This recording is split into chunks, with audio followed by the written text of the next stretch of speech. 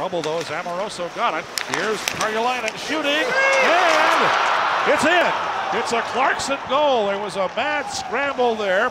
Schierhorn was not sure where it was, but the referee was in pretty good position and gave the signal right away. And so the Clarkson Golden Knights have taken the early lead here tonight as Sheldon Rempal, their leading scorer in the ECHE's HL's most productive freshman line last year. The ah, Gophers a pair of opportunities oh. to clear that puck, but Amorosa stays with it, and that backhand pass was special because he had players all around him, and then it's all about. 13 to go in the power play. Zuhlsdorf, high umbrella. Now it's Bristedt, high slot. He lets it go, he scores!